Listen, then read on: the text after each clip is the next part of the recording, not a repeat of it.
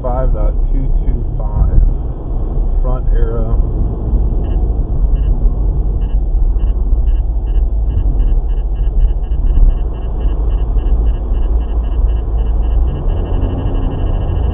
There he is on the left.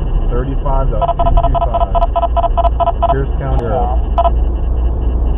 35.227 there you go. For all you people that don't believe that 35.22